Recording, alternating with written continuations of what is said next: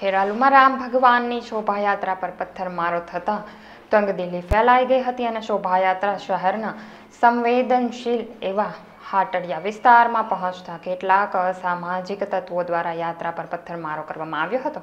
તો બે મહિલાઓ સહિત આઠથી વધુ શખ્સો મકાનની છત પરથી પથ્થરમારો કરતા વિડીયોમાં કેદ થયા હતા અને પથ્થરમારાને કારણે યાત્રામાં સામેલ કેટલાક રામ ભક્તો ઈજાગ્રસ્ત થયા હતા. તો બનાવની જાણ થતાં ખેરાલુ સહિત જિલ્લા પોલીસનો કાફલો ઘટના સ્થળે દોડી ગયો હતો અને પરિસ્થિતિને કાબૂમાં લેવા ટીચર અને ટીયર ગેસના સેલ પણ છોડવામાં આવ્યા હતા. તો જ્યારે પોલીસે પથ્થરમારો કરી અને કાયદો અને વ્યવસ્થા હાથમાં લેતા શખ્સોને ઝડપી પાડવા કોમ્બિંગ સહિતની કાર્યવાહી શરૂ કરી હતી અને ઘટના બાદ સમગ્ર ખેરાલુમાં હાલમાં સદન સુરક્ષા બંદોબસ્ત ગોઠવી દેવામાં આવ્યો હતો અને શોભાયાત્રા દરમિયાન હાટડિયા વિસ્તારમાં પથ્થરમારો થતા યાત્રામાં નાસભાગ મચી ગઈ હતી.